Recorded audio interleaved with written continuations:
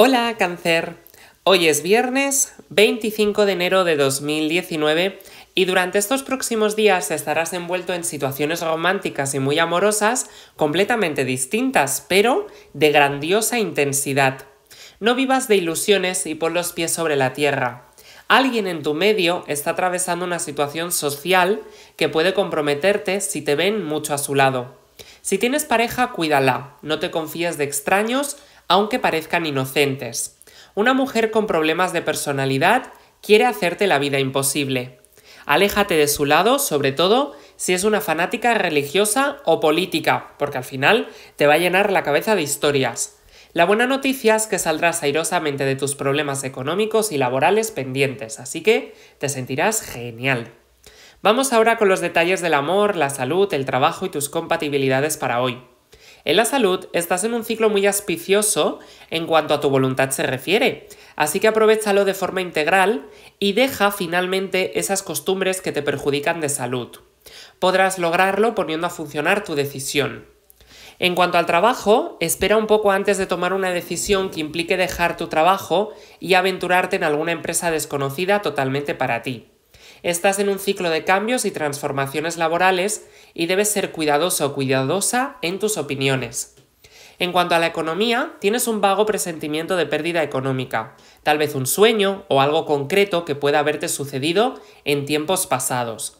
De ser así, tómalo como un aviso o una premonición y si surge algo poco serio, no vayas a caer en la trampa, por supuesto. En cuanto al amor, el buen humor y el optimismo serán las cualidades que te ayudarán a recuperar el amor perdido. Deja a un lado esas ideas tristes y las actitudes tercas, ya que la vida debe vivirse a cada instante sin lamentarse por lo que pudo haber sido, pero lamentablemente no fue. Si estás soltero o soltera, está llegando ese momento en el que decides echar raíces y comprometerte seriamente. A nivel energético, hoy tu energía es muy intensa, muy muy fuerte. La situación positiva que tienes que potenciar es una situación inesperada que te pone frente a una persona que merece la pena conocer. En negativo lo que tienes que evitar es descuidar los detalles de las cosas importantes y también cuidado con concederle excesiva importancia a lo que en definitiva pues no la tiene. O sea, intenta priorizar también las angustias.